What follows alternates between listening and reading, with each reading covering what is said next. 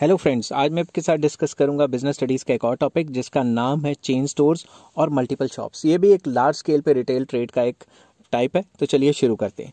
Chain stores refers to a number of identical shops located in different parts of the city और country तो chain stores क्या है? Number of identical shops एक ही तरीके की shops होंगी, जो कि एक सिटी में डिफरेंट डिफरेंट जगह पे खुली होंगी या एक कंट्री में डिफरेंट डिफरेंट जगह पे खुली होंगी। एग्ज़ाम्पल मैकडोनल्ड एक जगह खुला है, वो सेम टू सेम वैसी दुकान किसी और जगह पे भी खुली है, किसी और कंट्री में। अब इंडिया में जितने भी मैकडोनल्ड्स खुले हुए हैं, वो एक ही जैसी उनकी डिज़ाइन होगी, एक ही जैसा तरीका होगा, एक ही जैसा उनका मेन्यू होगा।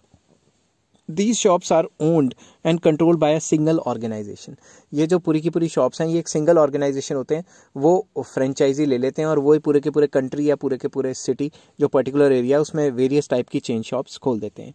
These chain stores may be established by manufacturers और ट्रेडर्स तो ये मैन्युफैक्चरर्स के भी हो सकते हैं और ट्रेडर्स के भी हो सकते हैं। एग्ज़ाम्पल दिया बाटा के एफ़ सी बर्गर किंग इनकी दुकानें कंट्री में कहीं भी चले जाओ, एक ही जैसी हैं। ठीक है?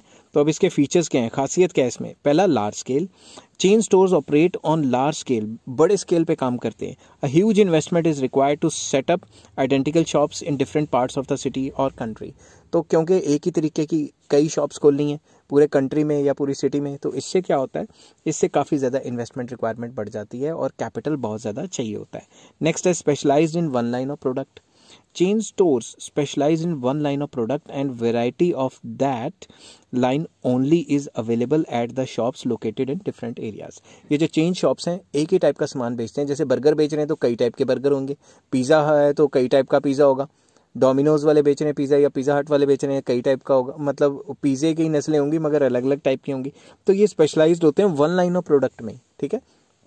नेक्स्ट आ जाता है centralised purchasing The goods for all the chain stores are purchased by head office to maintain the uniformity in product sold and different retail showrooms basically वो करते क्या हैं?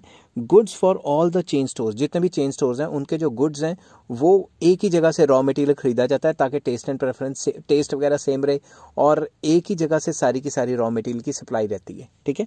और डिफरेंट डिफरेंट जगह से नहीं खरीदते और जितना भी रॉ मटेरियल है, वो सेंट्रली परचेज किया जाता है हेड ऑफ़िस परचेज करता है और हेड ऑफ़िस परचेज करके जितने भी चेन स्टोर्स हैं, वहाँ पे ट्रांसपोर्ट कर देता है। नेक्स्ट है decentralised sale each chain store has its independent sales as the stores are located in different parts of the city और कंट्री डिसेंट्रलाइज सेल का मतलब है कि हर एक चेन स्टोर की अपनी अपनी इंडिपेंडेंट सेल होती है, कई जगह की ज़्यादा सेल होती है, कई जगह की कम सेल होती है, क्योंकि हर एक इंडिपेंडेंट ये जो चेन स्टोर है वो अलग अलग जगह पे खुला हुआ है। तो हम कट्ठी सबकी सेल्स नहीं कहते, ये कहते हैं कि इस जगह पे सेल अच्छी है, इस जगह पे सेल कम है। ऐसे डिसेंट्रलाइज सेल होते हैं, इनकी next quality the chain stores deal with standardise and branded products जितने भी चेन स्टोर्स हैं, वो स्टैंडर्डाइज हाई क्वालिटी का सामान बेचते हैं ब्रांडेड सामान बेचते हैं। The quality is assured to customers in chain stores तो किसी भी चेन स्टोर से आप खरीद जैसे नाइक का चेन स्टोर है तो नाइकी के जितने भी सामान है चेन स्टोर्स में, पूरे कंट्री में या पूरे वर्ल्ड में, वहाँ स्टैंडर्डाइज माल ही मिलेगा। ठीक है ना?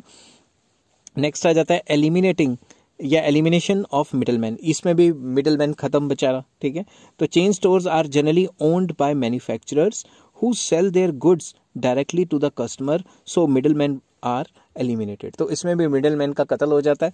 क्यों? क्योंकि मैन्युफैक्चरर डायरेक्टली अपना चेन स्टोर खोल लेते हैं। जैसे एप्पल वालों ने अपने चेन स्टोर्स खोल लिए, या नाइक वालों ने खोल लिए एडिडाइस वालों ने खोल लिए तो उन्होंने बिचौलिए जो होलसेलर है, उसका काम तो तमाम ही कर दिया ना। Next uniform prices the prices of products charge by chain stores located in different places are same आप चाहे नाइक का एक शू एक जगह से खरीद लो या दूसरी जगह से खरीद लो, तीसरी जगह से खरीद लो, अगर क्वालिटी सेम है तो फिर प्राइस भी सेम होता है। तो ये जो चेन स्टोर्स हैं, इनका एक फ़ायदा ये रहता है कि अगर आपने एक बर्गर खरीदा है तो आपने पिज़्ज़ा खरीदा है, वही सेम पिज़्ज़ा दूसरे चेन स्टोर पर भी सेम प्राइस का मिलेगा। They sell the goods at a fix price ठीक है? क्योंकि रॉ मटेरियल तो एक ही जगह से आ रहा है ना। तो cash sales in chain stores no credit is given goods are sold at cash basis only वहाँ पे कोई कर्जा कुर्जा नहीं मिलता, आपको कैश ही देना पड़ता है।